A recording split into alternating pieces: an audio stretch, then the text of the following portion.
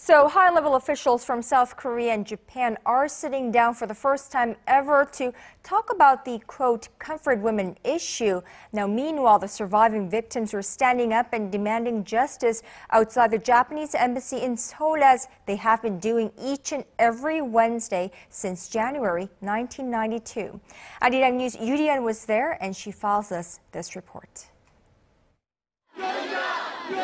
Shouts ring out, calling on Japan to atone for its sexual enslavement of women during World War II. Every Wednesday for the past 22 years, victims of the atrocities carried out by Japan relive their painful past here in front of the Japanese embassy in Seoul.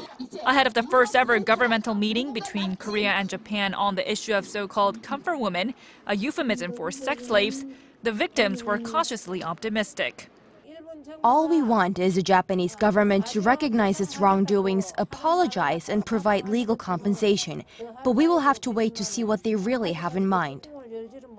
Civic leaders were concerned that the meeting was simply a show put on by the Japanese government, wary about its strained relationship with the United States in recent months. We will have to see if the Japanese government came to seek resolution or only came because of pressure from Washington ahead of President Obama's visit to Japan and Korea next week. I hope it's the former. With hopes running high, the former comfort women were joined by supporters at the rally. Even the idea of using comfort women is unacceptable. That is the universal opinion. I plead as a Japanese citizen that Japan apologize and make sure such things never happen again. The South Korean government should not give a lukewarm response, but rather make strong demands on behalf of these comfort women. Only 55 Korean women identified as former sex slaves remain alive today.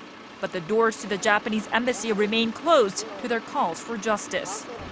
The ignorance of the Japanese government is becoming ever harder to bear for the victims who have grown frail from decades of waiting. Time is running out. Yoo Li-an, Arirang News.